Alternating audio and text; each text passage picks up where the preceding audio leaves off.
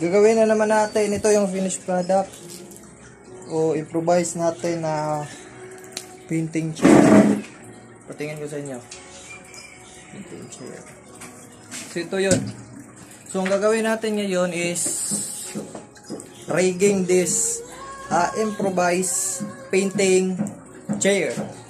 So, papakita ko sa inyo paano mag-rigging.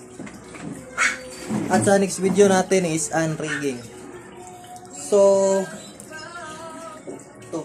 Tapos, turuan ko kayo paano ilock ang painting chair. O painting painting stage. So, rigging, ito yung So, imagine lang natin na ta- nasa taas tayo tapos magbibenta tayo sa barko. So, isasamba to sa gilid. At sa gilid, tapos ah, samba natin sa gilid. Tapos, in rigging,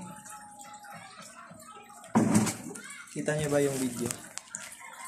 So, in rigging, so,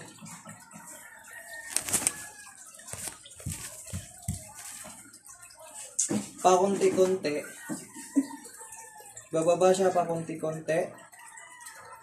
Kunti-kunti. Hanggang kung saan siya hanggang kung saan saan mo gusto o saan kayo magpipinta. So, yan. Rigging natin. Tapos lock. Kung gusto nyo dyan, lock lock kayo. Ikot natin siya ng limang beses para sure na safety yung nakasakay sa ating ah, painting chair. So, ikot natin yan. So, ulit naman. Ulitin natin. Ulitin natin. So, ulitin natin.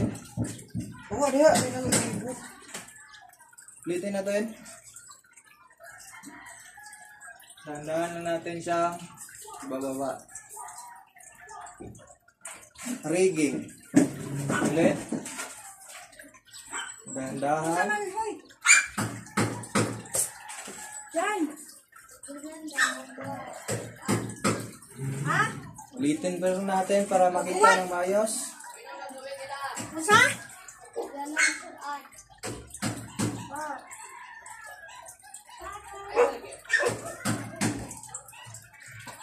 So, yan. Rigging. Yan yung rigging natin. Tapos, maglalak tayo. Dito tayo maglalak.